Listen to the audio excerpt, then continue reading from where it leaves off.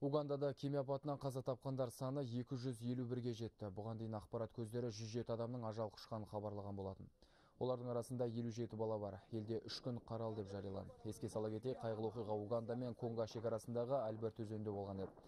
Жергілікті билік өкілдерінің мәлімдеуінше кемеде 300-ге жуық босқын болған. Жалпы Уганда жағалауларында кеме апаты жиі тіркеледі. Оған кемеге шамадан тыс жолаушының мінуі мен қауіпсіздік ережелерінің сақталмауы себеп.